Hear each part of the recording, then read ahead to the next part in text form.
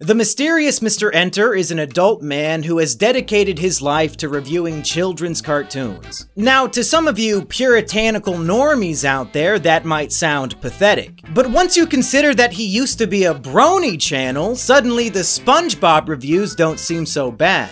Even if you've never heard of him before, chances are you've encountered one of his famous opinions. He recently got memed on a bit because he criticized Turning Red for its lack of 9-11. This film takes place less than a year after the September 11 terrorist attacks. I bring this up because it radically altered the culture of the time, in ways that make this movie feel exceptionally ignorant of the time. Much like Jesus, they hated him because he told the truth. Because you know what? I unironically agree with him. I thought Turning Red was a shitty, boring movie and the mere mention of 9-11 would have at least made me laugh. If the mysterious Mr. Enter made Turning Red, I sincerely would have enjoyed the film more. This realization reminded me that somebody sent me a copy of Mr. Enter's children's novel during an episode of Mumkey's Mailbag a few years ago. Is this Mr. Enter's book? Growing Around Party Panic by Mr. Enter? Are you serious? I thought that it didn't get funded. Or was that a cartoon? the art doesn't fit on the page. It looks fine from here, but like here it's kind of blurry. And they drew Mr. Enter as a monkey, or as a monkey at the bottom. Man, you don't need to do the double spacing like that. This is not your middle school essay. Really? This is what the back looks like? Did you fucking even try?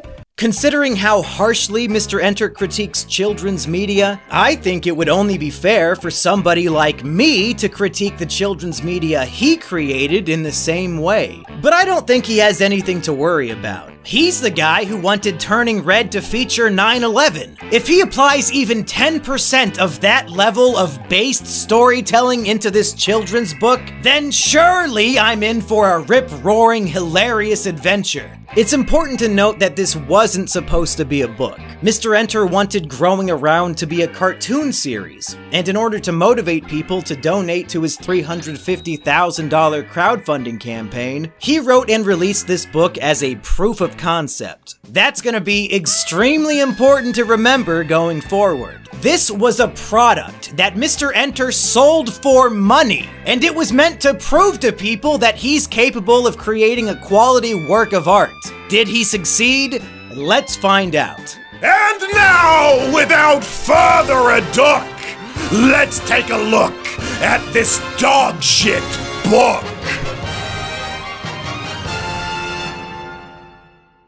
Chapter 1 The Cover. They say you can't judge a book by its cover, uh, but in this case, you absolutely can. The cover art is blurry and pixelated, the artwork is as generic as possible, and the description on the back literally has typos! And she makes sure respects everyone else's choice of pets, whether they be a tiny little dog or a huge elephant. Now, I get that this book is about an 8-year-old girl, but does it need to look like it was designed by one? Mr. Enter saw this 144p quality artwork and thought it was acceptable to sell for money! It's going to be difficult when the mayor seems to have it out for her in this enticing adventure where the people are growing around. What the fuck does that even mean? growing around is not a phrase and it's never even used in the book. I get that he thinks it's a clever name, but it's literally meaningless. Anyway, that's enough bitching about the cover. Let's dive into the degenerate hellscape that is growing around. Chapter 2 World Building, Lore, and Lack of Creativity. There's a decent chance you have no idea what this book is or what it's about, so allow me to enlighten you. The basic premise is Growing Around takes place in a fantasy world where children are in charge and the adults are forced into servitude. Essentially, this is a utopia world for the kids and a terrifying dystopia for the adults. Think about it this way. In this world, when you're born, you are the king. You can do whatever you want, and your parents have to obey your every command. But once you turn 18 and have kids, you become enslaved by your children. When your child turns four years old, they can start driving a car. Meanwhile, you have to go to a re-education camp like what they're doing in China to those Uyghur Muslims. Which begs the question why would anyone in this world ever procreate? You know for a fact that your children will enslave and torture you. So, in a way, this is voluntary slavery. Maybe in this world, this is God's punishment for if you have unprotected sex. Even if you're married, in this world, God hates procreation no matter what. And if you have sex and you come inside somebody, he wants you to be enslaved for the rest of your life. But the big question is, does this only happen to the parents, or do all adults become enslaved? If they don't have any kids, who is there to enslave them? Well, we never see any actual adults in the story. The world is full of children who work all the jobs and drive around in bumper cars, and the only adults we ever hear about are the parents who are bussed off to the concentration camp every day. Has there been some sort of mass genocide of all adults who don't have children? I can only assume so. And now you probably think I'm full of shit and the parents aren't actually getting tortured. And surely Mr. Enter didn't write a children's book about re education camps. Well, fuck you, you're wrong. At this school, the main emphasis is on cultivating imagination and creativity, and there are punishments for failure. So, if you do a finger painting, and this six year old teacher doesn't like the painting you did, the appropriate punishment is they pull out a paintball gun and they can hunt you through the school. These aren't Nerf guns or even laser tag. These are goddamn paintballs. Those can leave giant bruises on your bare skin. And the adults don't even get safety goggles. This shit is fucking horrific. And here lies the biggest problem with the book a lack of creativity. This is supposed to be a world of childlike wonder and imagination, to the point where all adults are forced at literal gunpoint to retain as much creativity as possible. And yet, the world of the book is so embarrassingly lacking in actual creativity that Mr. Enter deserves a firing squad of paintballers. For example, the only two countries we learn about in the book are called the United Kidsdom and Americandy. That's right, not even the United States of Americandy, just Americandy. Considering that America consists of two continents, North and South America, I guess the implication here is that all 35 countries of the American supercontinent have united as one. But seriously, in terms of creativity, the best Mr. Enter could come up with when creating a childlike parody of America was Americandy. It's so fucking lazy and creatively bankrupt. The currency of this world isn't cash money. It's a parody of Pokemon called Ginomon cards. For example, the main character Sally goes shopping for toys and she has to pay 247 Ginomon cards at the register. Now here's where it gets dumb. It is canon that some cards are more rare than others. One of the characters is shocked that Sally has a Lightning Phoenix card with golden text. So logically, that rare card should be more valuable than a common card, right? Well, no. All of the cards are worth the exact same amount. If she pays with the rare Lightning Phoenix card, she still has to pay the other 246 cards. It would be like if the $100 bill, the $20 bill, and the $5 bill were all just worth $1. What's even the fucking point of rare cards existing if they're all of equal value? And here's where it gets straight up retarded. In addition to Ginomon cards, there is also a franchise called Snatchamon.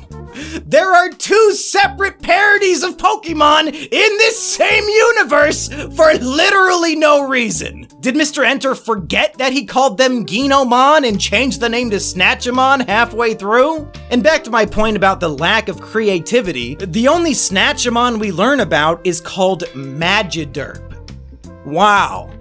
A parody of Magikarp, but you replaced Carp with Derp. Get it? Because Magikarp is fucking retarded. Can somebody please bring me a paintball gun? There's a bunch of other world building and lore that just makes no sense. It's revealed that this society of children somehow had the technological capabilities of putting a kid on the planet Mars over 100 years ago. But then the main character is always listening to music with a CD player. Hmm. we still haven't put a man on Mars to this day, and we all stopped using CD players 15 years ago. Was any thought put into this at all? Oh, uh, remember that teacher I told you about who will shoot you if she thinks you aren't creative enough? Guess what she named her dog?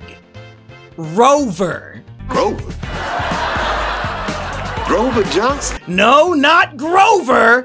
Rover. As in the most stereotypical dog name to ever exist. A dog name so generic that a real world company specializing in dog sitting is called Rover. This complete lack of imagination not only proves the teacher to be a violent hypocrite, but it also breaks the immersion of living in a world fueled solely by childlike wonder and creativity. How about next time you name the dog something inspired? like Blondie, or Tishka, or even Stepan Timofeyevich. The possibilities are endless, unless you're Mr. Enter, in which case the possibilities are generic and embarrassing.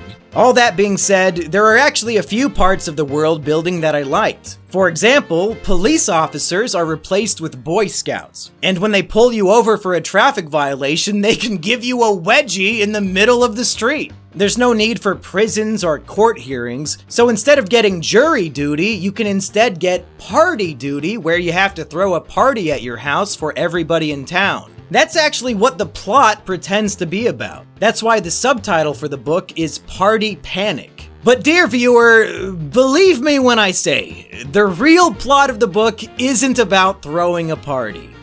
It's about abuse. Chapter 3 The main character is a cunt. This book is over 160 pages long, and the party subplot doesn't happen until halfway through. And even then, the party lasts for about five pages, and then the book abruptly ends halfway through the party with a to be continued. And as far as I know, it never was continued.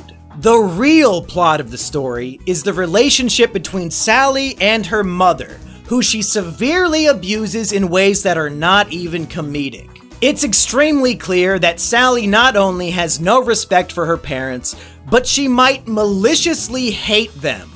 She refers to her parents by their names, Linda and Robert, so I assumed that was the custom in the growing around world. But no, other characters use the words mom and dad. Sally is the only one who calls her parents by their real names. When Linda gets bad grades on her report card, Sally wants to punish her mother by forcing her to eat muddy roller skates. Eating mud is one thing, but a roller skate isn't even fucking edible. And then when her mom is leaving the room, she trips over the ball pit, and Sally takes great pleasure in watching her mom fall and get hurt. Now, in case you were wondering how bad of a grade Linda received in order to warrant a punishment as cruel as eating a roller skate, well, she got a D minus in laser tag class. That's pretty bad, right? But then, it's later revealed that there is such a thing as a Z minus grade. So in this universe, the grading scale doesn't end at F. It goes all the way down to Z, in which case, a D minus would be equivalent to a B. She's forcing her mom to eat muddy roller skates for getting a in laser tag! This character is insane! Meanwhile, Sally claims the four main food groups are chocolatey, fruity, salty, and cheesy. Her mom begs her for any semblance of nutrition, desperately trying to add vegetables to their meals, and Sally denies her. She can either eat junk food or roller skates. There are no other options. Nobody in the book is described as being morbidly obese, and the generic character models show everyone being in shape. But the only food in this world is candy. Basically, the entire book is just Sally torturing her mother. She forces her to go to the re-education camp wearing embarrassing outfits. She helps her teacher hunt her down with paintball guns during a parent-teacher conference. I'm starting to think Mr. Enter might not like his own mother very much and used this story as a fantasy way of coping with his hatred. Chapter 4 A Comedy of Errors.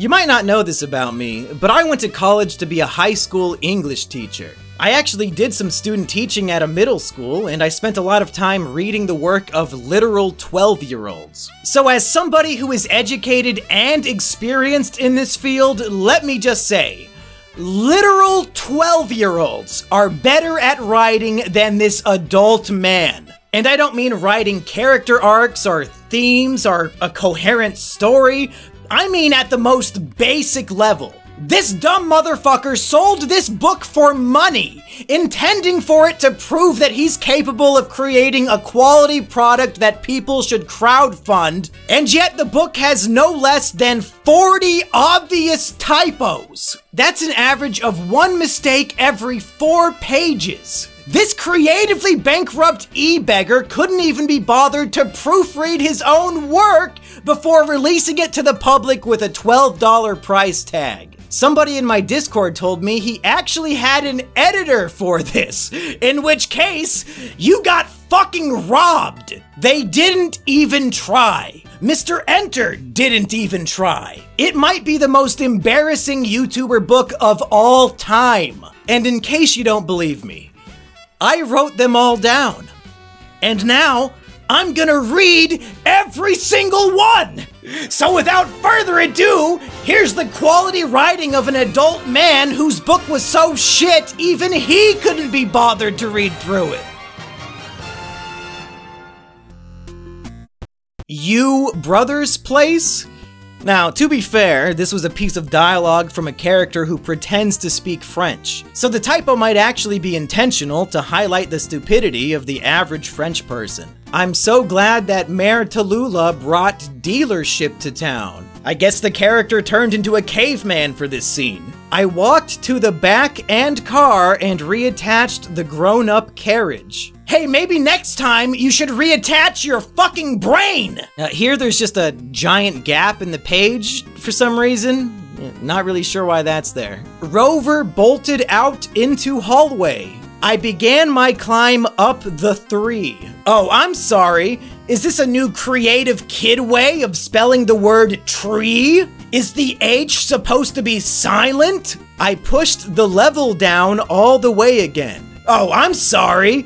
Is this a new creative kid way of spelling the word lever? Is the main character Japanese now? I locked into Linda's locker. Okay, this one's not really a typo, uh, but listen to this. But the styles are all mismatched and the aesthetics are all wrong. The elements are so mismatched. How about instead of using the same word twice, you pull up a little website called thesaurus.com? He just stared me. The arrow flew and plucked Carmichael in the face, sending into the ceiling before plummeting into my arms. It's about a time I gave Mayor Hurtley a piece of my mind. It's about a time? What? Is the main character Super Mario now? It felt kinda nice to have your thoughts flood back into brain. Maybe that sentence would actually make sense if any spark of intelligence flooded into brain. Tell you what, through, I'll give it back to you on one condition.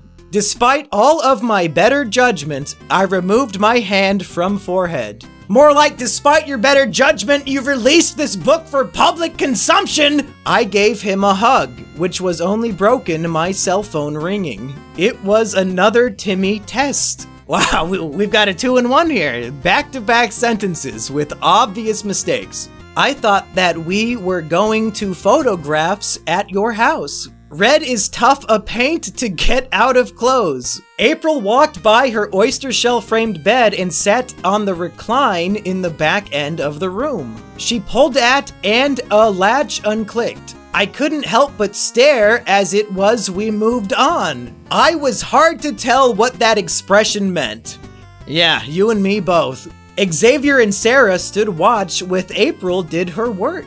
Linda looked at the papers in her hand and checker her camera. Well, at least she didn't chess her camera. I pulled it out and looked for the other bits of pieces. He was hit in the fact with a white powder, much to his surprise. When enough knock it offs had gone by, I had no choice but to push into the lake. Everyone problem thinks that I'm a party hating McGruffin. She would have been doing much better as school. Oh, I'm sorry. Did Linda become the school between chapters and you forgot to mention it? She said she ain't gonna do it, and ever after making her wear that outfit. She shook her head, making even more hairs spring loose. April combed her hair down as walked through the living room. The little setup that we were able to do went a long way with streamings strewn across the wall and balloons bobbing. Robbie told me everything too. I opened the first door that I could get my hands on and fell into one of the of the most alien things that I had ever encountered. Oh, I'm sorry. Was Porky Pig your ghostwriter? Hear me out.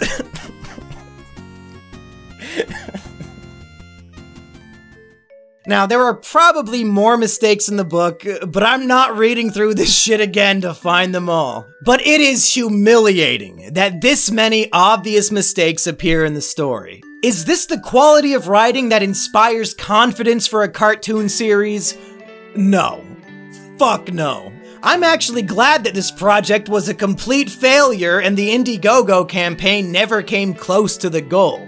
And just to be clear, Mr. Enter, a copy editor who combs through your book and corrects all the mistakes can cost up to $3,000. And I just did it for free. So as far as I'm concerned, you owe me three grand for doing the shit you should have done yourself. Obviously, Mr. Enter isn't going to pay up for all my hard work.